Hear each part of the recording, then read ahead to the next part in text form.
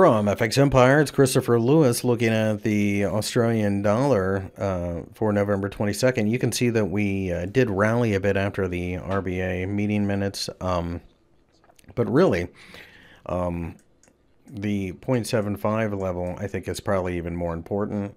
I think that the 0.76 level also serves as important, and I think we may be trying to um, showing signs of exhaustion as the stochastic oscillator showing uh, certainly that we're in an overbought area and cross. So I think that a breakdown below the 0.75 level probably sends this market to the 0.7350 level.